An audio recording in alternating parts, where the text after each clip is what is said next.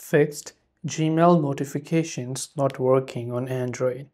If you want to fix if you're not receiving notifications for the Gmail app on Android, there could be many things that could actually be happening. Now, if you're receiving the mail within Gmail, but you're not getting the notification.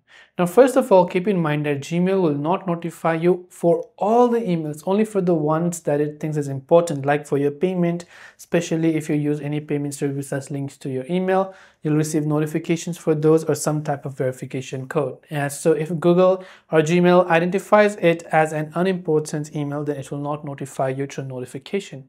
Now, there are a couple of things we can check. The first is making sure, of course, your internet is working fine. The second is if you have enabled any settings like do not disturb. So this will block out the notifications.